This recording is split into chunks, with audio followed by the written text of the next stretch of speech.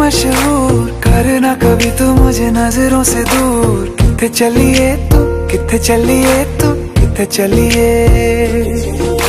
जानदा है दिल ये तो जान दिया तू। तेरे बिना मैं ना रहूँ, मेरे बिना तू। किथे चलिए तू, किथे चलिए तू, किथे चलिए? काटू कैसे राता हो सावरे? जिया नहीं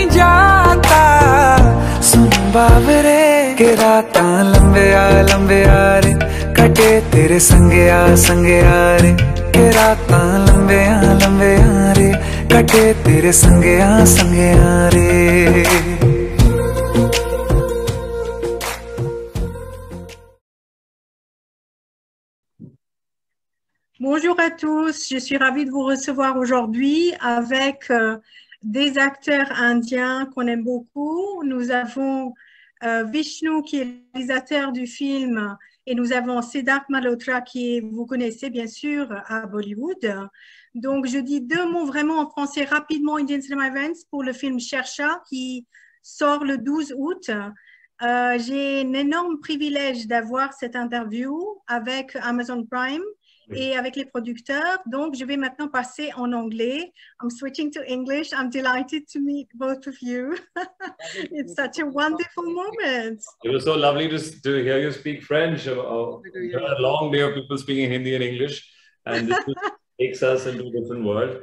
Um, So, yeah, we, we, I'm, I'm going to, well, I look forward to seeing you at Cannes because Indian Cinema Events, we set up India Pavilion at Cannes in 2003. And then Mm. we've been doing PR and uh, promo for Indian Cinema at Cannes since, well, it's been 20 years. Marrakesh Film Festival, Grenoble Film Festival, where I am in the French Alps. So I'm looking forward to seeing you there. Shabbir is one of my closest friends in in Bollywood, and uh, this was so fantastic when he spoke about this project, and I was like, "Oh my goodness, you're going to do this film!" And then five years later, this really happens. But this is so beautiful. Every story goes from you know uh, something in someone's mind to becoming a, a beautiful film. And congratulations, the trailer is so fantastic. I don't know who your DOP is. but you got an eye for beauty. It's absolutely fantastic. And uh, Sidharth, uh, you've, I mean, in the trailer, you, you're absolutely fabulous. It's just a great job, huh?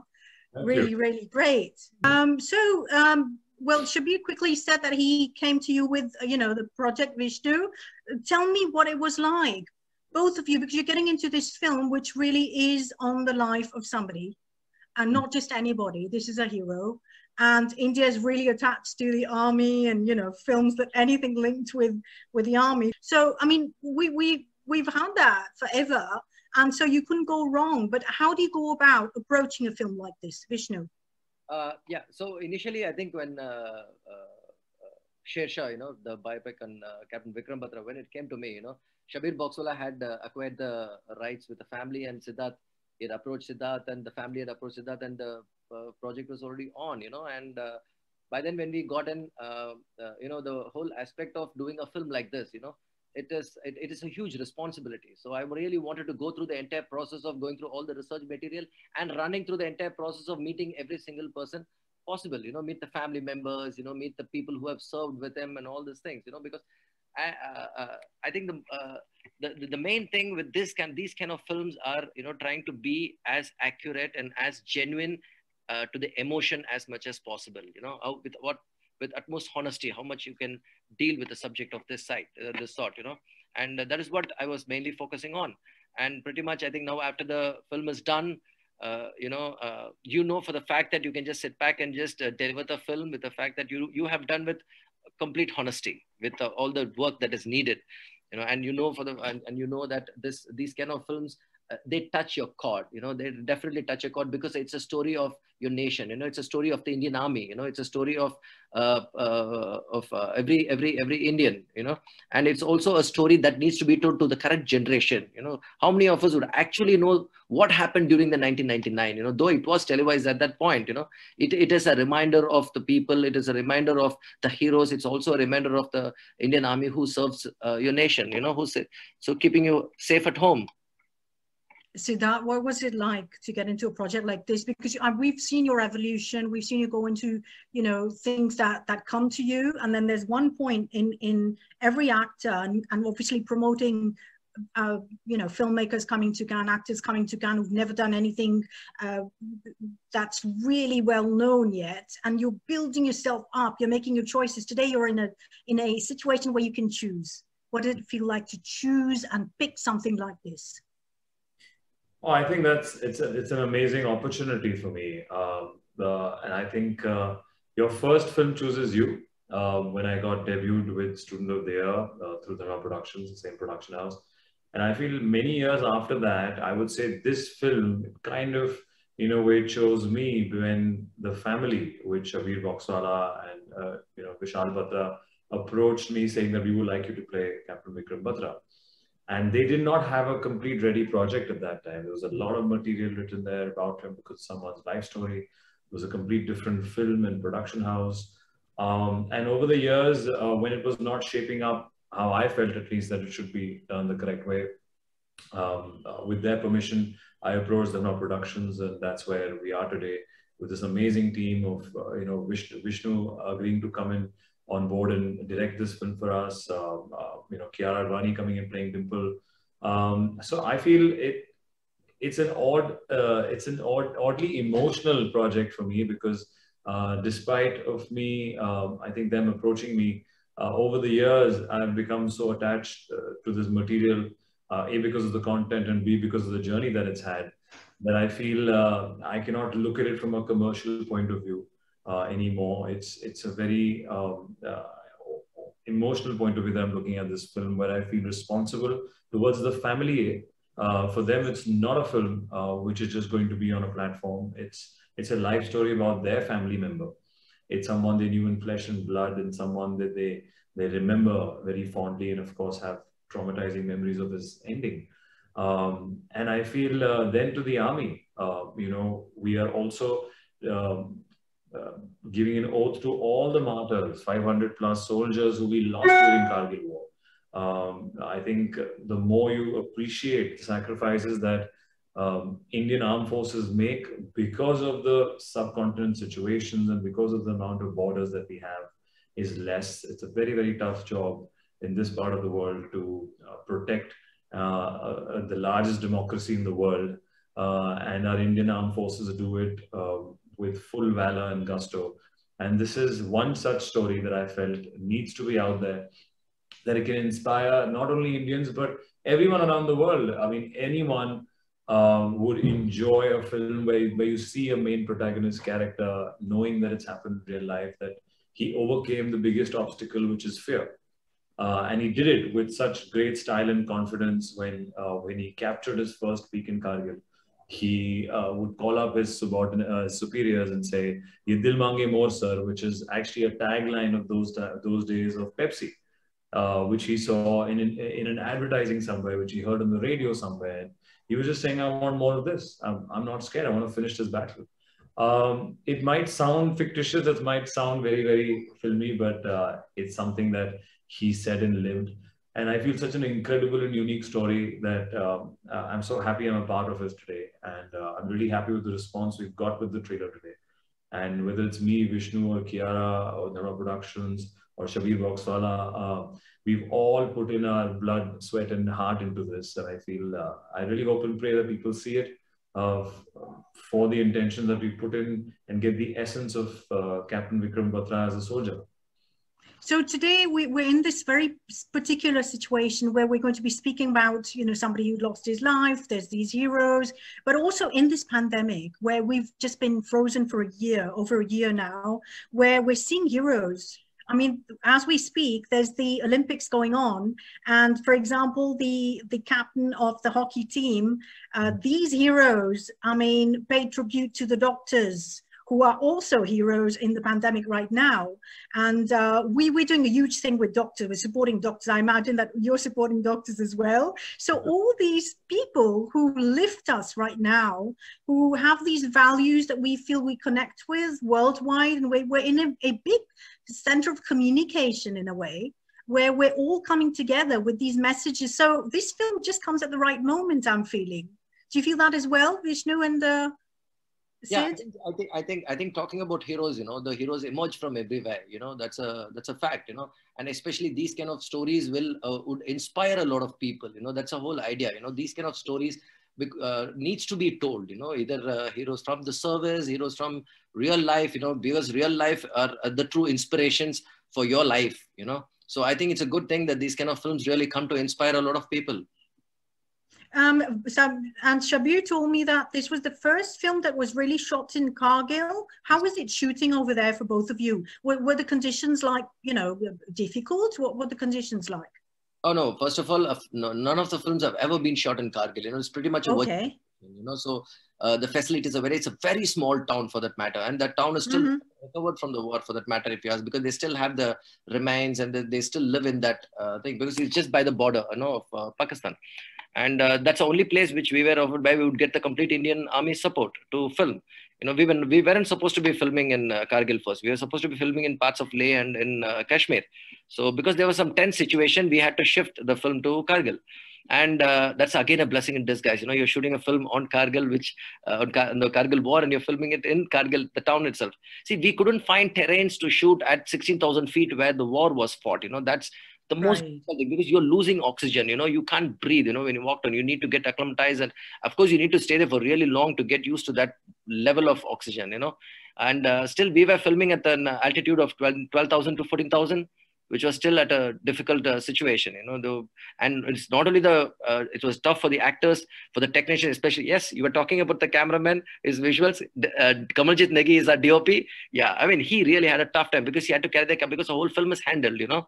You need to carry right. the camera with all protection gears either the whole take is long takes and you have to run carrying the camera you know. So it was difficult for him the actors to perform on long takes you know. And pretty much you know you the, none of the thermocols or the skimmers or the lights the, we were shooting in a slope like this you know. We find to we we managed to find terrains which is very close to how the war was fought. You know when you're shooting right. in this terrain you can't and the and the kind of wind you know the kind of weather conditions it is you know thermocols lights everything would just fall fly you know.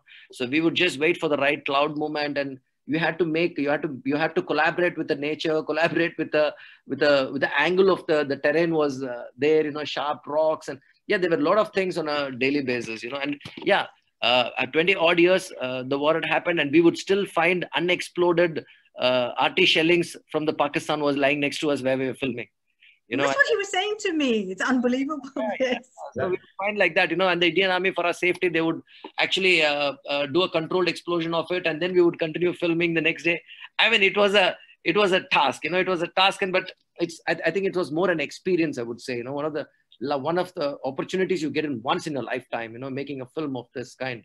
And that's yes but i'm coming to you because your past is with santosh sivan.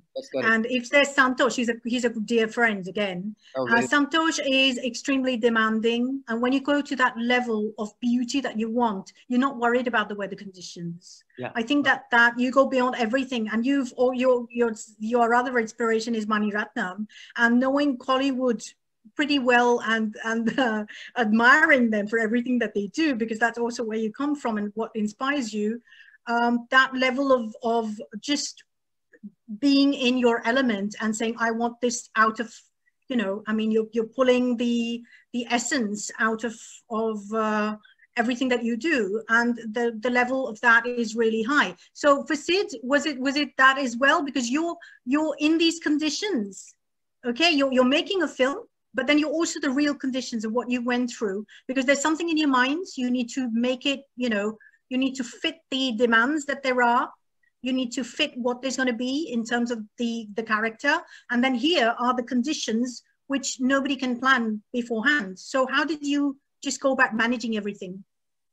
Well yes you look very calm you look extremely calm. The, the, the, the, the conditions were extremely challenging. Um, I mean, we were the first, Vishnu said, we're the first one to shoot in Kargil. Um, and being 12,000, 14,000 feet above sea level, when there is very less oxygen, the air is much thinner, uh, the wind speed is much higher. And in, in our parts of Kargil, uh, there are hardly any green patch. There, there, there's no grass, there are no trees to take shade under. So you're pretty much there with your gear, with your troops. Uh, simulating what happened actually happened in Kargil War 1999. Um, And do you say to yourself, well, I'm in these conditions and I have to let that appear and let that show that I'm, I'm, yeah, I'm, I'm, I'm, you know, living these, these the weather conditions and, and I, I want, you know, this to be part of, you know, who he it was. adds to our performance. It adds to our performance a lot. It adds to make it, uh, make our film look like different. Uh, from the other army films shot in India. Um, it just to give you an example, the voice that you hear uh, in the latter half of the film is is I we did not want I didn't want to dub it, and then eventually Vishnu understood that we didn't want to dub it because the the huskiness in the voice um, that that comes in there with the dust, with that uh, uh, you know with that air being thinner there. Oh, you cannot recreate that. You know, we were fatigued, we were generally tired. There was and that's what they felt. And see listen we we got the luxury of having retakes. They didn't have it. There was a real deal. Uh, so we are nowhere saying that you know we uh, we know what it is to actually fight a battle there. But uh, in terms of actors and producing uh, or in terms of directing uh, there were a lot of challenges every day. Um, uh, different paths. We were there for 45 days. Every day was a trek to a location.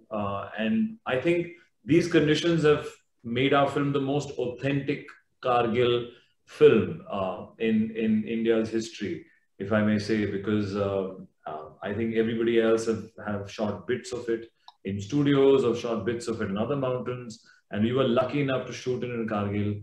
We had the Indian Army's support from day one, and I would like to thank them again that you know they gave us the correct facilities, the correct guidance, the correct permissions to to use some of their equipment, to get their technical uh, know-how people to guide us. Uh, so I think authenticity is what we've tried to do with this film. Uh, because the film in itself, uh, Captain Vikram Batra's life story has so much emotion uh, that one can be inspired from it any which ways. Uh, we had to do it in a more believable manner, um, which we feel that you know we've uh, we're pretty happy with the final result, and now we're eager to see what India and the rest of the world thinks of Shershaah so well i've heard that the the chief of the indian army is going to be coming and there's loads and loads and loads of requests from everybody to you know all the army different uh, sectors in india to to go promote the film which is so fantastic. So there is this already this uh, sense of communication and there's something that people are connecting with and relating with. I'm coming back to you because i'm always fascinated by the side of you know actors and filmmakers. Um, what do you feel this has brought you as a filmmaker, of Vishnu, and uh, uh, uh, Sid, you as an actor in developing your art? Because because it, this never stops. With every new film, it's going to be a different thing. Maybe you're going to be working with, who knows, French uh, movie stars and, and actors soon. I hope. I hope we'll have you in one of our co-productions with friends what's it like? What, what, this is built a part of who you've become now today. You've acquired that experience into something different. And how how has that helped you? Uh, see, I think uh, I, I, I think every time every any any project that you take up you know any idea that okay this is a kind of a film you know you don't go with a preset mind you know now, for example, if I would have gone to the preset mind, you know, like I would want to do only films like this, you know, so there's nothing like that because every time you want to explore something new, you want something to excite you, you know, you want something to excite you. Now, this is exciting because I've never done a biopic, you know, I've done a gangster films, I've done uh, dramas, action drama. Now, this is something which is uh, uh, which will pump your adrenaline you know? Which is something really happen in your life you know? You get the opportunity to to to, to narrate that story and there's some and you've never done a biopic okay? And you've never done based on the indian army. Now there are so and plus so this is in your pocket like now you you've done the thing.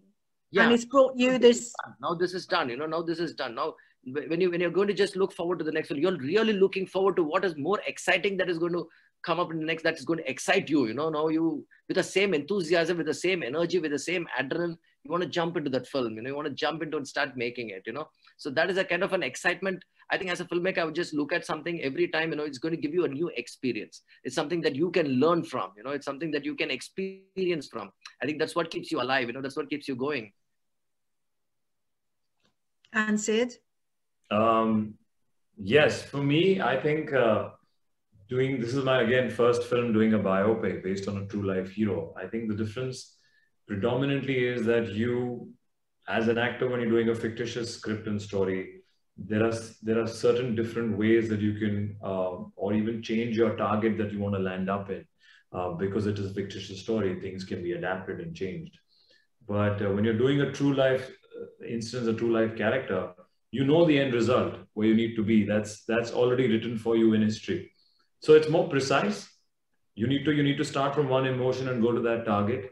And i think that requires more skill we need to control that requires more craft that you know you have to land up uh, on that emotional level uh, because that's how he was in real life. Uh, so i think that was really challenging to find scenes and instances that you needed to hit those notes and give those emotions uh, because he was a real life character. And plus when you are narrating someone's story life story you obviously cannot show every, everything in, in two hours. So you're also skipping time. You're skipping their phases of life of zones. So uh, for an audience, uh, whether he's in college and then goes straight to uh, being an army personnel, they've not seen his middle part. But for me as an actor, I need to portray that. I need to portray that the moment you see me in the in the uniform, you need to see that I've been trained, different body language. I, I live the part, and you know, kind of uh, give you that sense of those last missing moments. Um, so I think bits like these, uh, a lot of prep goes into it, a lot of planning goes into it. Uh, everything is uh, detailed and consciously made effort to to showcase it to the people in the right manner. Um, and I, the, I think in this process, thoroughly I'm so um, emotionally attached to it and so charged by it because uh, possibly because I, I feel when I speak to his family that um, it could have been my family in Delhi. It could have been my uncle and aunts, uh, you know, having their son who gave their life there. Um, and I also come from an army background through my grandfather who served in the Indian Army. Um, so a lot of emotions um, uh, playing this uh, real life heroic character. Um, I'm just coming back to Shabbir, who's worked with, you know, Aishwarya, Vivek Oberoi, Zayed Khan, then Naseeruddin Shah, Paresh Rawal, uh, Irfan Khan, Arjun Rampal. So there's there's there's obviously Karan, uh, you know, co-producing, and then there's Shabbir. Uh, th this idea was came from from Shabbir Boxwala, so who's who's been in in uh, you know producing in in Bollywood for for quite some time now. Um, you're you're in in also you know working with new producers, going into new things. Uh, thinking maybe that you could also be producing. Now, I think Vishnu's also been an actor himself. You've been in drama and you've been an actor, if oh, I understood long, properly. long back, Sonia. There's long back. you know, but it matters when you're directing. That matters. That the fact that you've been an actor changes things. Have you seen Maniratnam's film Anjali? Uh, Anjali? Yes. Oh, that I was there. I was one of the kids. Okay, now let's get there. all cool stuff. Uh, all the cool moves in Anjali. So, just last thing I'd like to ask you is that um, we how would you how would you see yourself like we've have had uh, Vicky and Nayantara this year who've made Pebbles and it was at Rotterdam Film Festival and won the top award at Rotterdam. It's very important for me for, you know, being a festival person and working with Cannes. Just one last thing. Do you see yourself in uh, um, working with, you know, um, independent, you know, movies and, and different movies and, and experimenting a little bit on that for Sid and for you, Vishnu? No, no, no. So that we can see you this side of the world. No, of course, definitely, uh, Sonia, because I've attended uh, five to six festi- uh, five to six events in Cannes. Actually, I've attended uh, at the Cannes, and I've been five six years. And yes, I'm really looking forward to. As I told you, you know, anything that's going to really excite you, and uh, as a filmmaker, you know, you definitely get into it, irrespective of uh, any genre or any language, for that matter. You know. And for, for Sid. Uh, well, absolutely. I think the world is uh, becoming much smaller. Uh, eventually, me as an actor, what I need is a story that excites me, inspires me, and whichever language it comes in, uh, if it's done with the correct intentions and it's um, uh, with the right thought process. Um, absolutely. I've, I've never been to Cannes Film Festival. I've, I've been to Marrakesh. Um, and it would be lovely to showcase our film uh, at a festival like this, hopefully when things are better and, and fine. So um, yeah, hopefully, let's see. Looking forward to it. Well, I look forward to seeing you both at Cannes uh, next year. This year's been a little bit, you know, tough. Uh, we've all been through COVID and we're we're being extremely careful. Do, do, I beg of you, send out the message to everybody to be careful on your personal platforms, to be careful um, and to be safe. So please, please take care of yourselves and uh, come back fit and fine and happy. And I'm sure that uh, this film is, is going to be a, a real, real success. Uh, uh, wishing you all the best and see you soon. Thank Please you. take care. Bye. Thank you so much.